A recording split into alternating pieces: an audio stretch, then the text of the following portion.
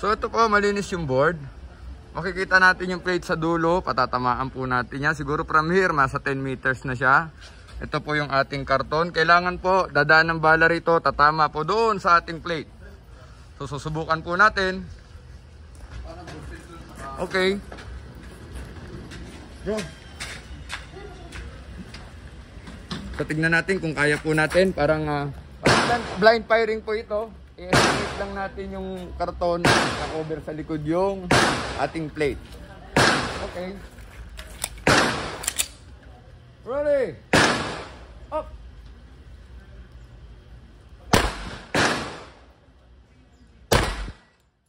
Tinamaan?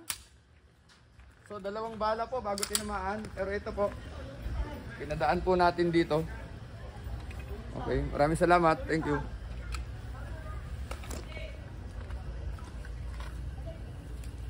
So ulitin natin yung blind firing.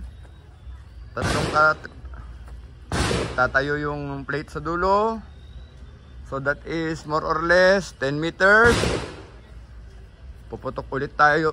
Dadaanin natin ang bala sa karton na ito. Puputokan natin ang plate. Another round.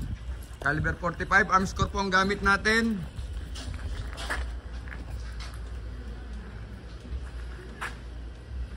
So, blind firing pa rin.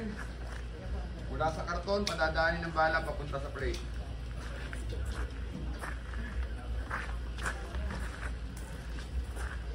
Pwede.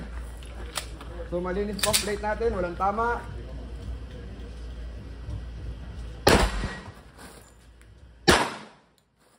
Tamaan.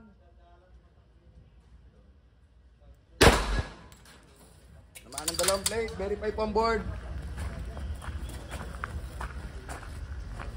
So dito natin pinadaan ng mga bala, no? Tinamaan natin dalawa, nagbintis tayo ng isa, pero pwede na po yon. Maraming salamat.